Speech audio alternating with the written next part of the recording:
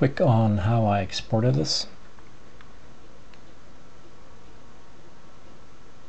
So I got uh, that guy and we need to click on this icon so it might be that you have this one selected or that or whatever but you gotta go here to that modifier and select the character so you see that orange highlight uh, right now it's Catmull Clark. We'll go for simple then set the subdivisions to zero. So looking at wireframe you'll see well actually the, the wireframe is not that great is it? Anyway but you get the idea. It's simple just pure polygons and no subdivisions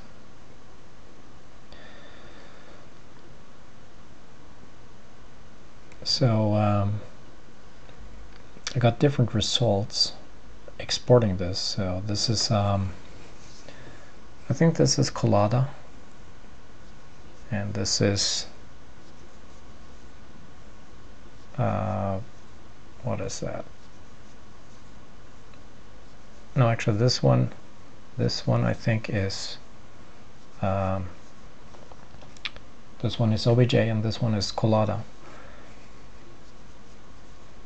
and this one is FBX so that's what we want. We want it we want it to look like that.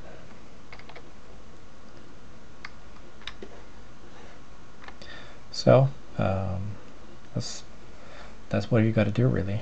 Um, so remember um, or at least as far as I found uh, do export that to FBX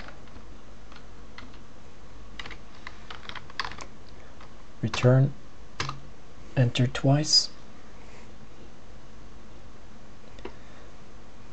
So we got that guy and should now be okay. Okay I guess these eyes are kind of off not just kind of. Delete those. I guess we'll make those over again but um, look at the character. Yeah it's uh, quite alright. If I tab that, should look good. Remember to tab that in Catmull Clark.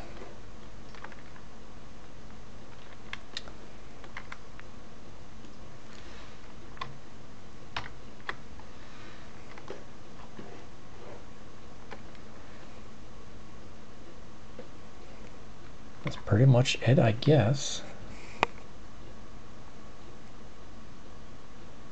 Yeah, when you first use Blender, uh, let's see here, uh, me navigating Blender.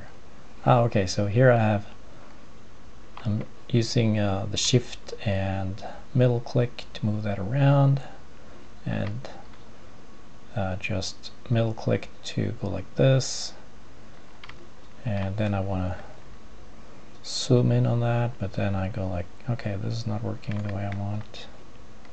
Simply because I'm not used to the navigation here.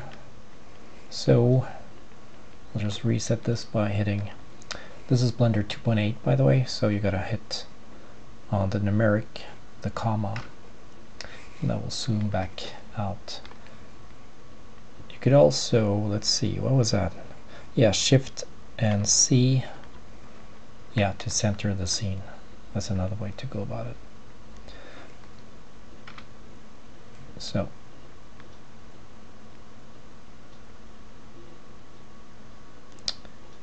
Zoom all that's comma on the numeric pad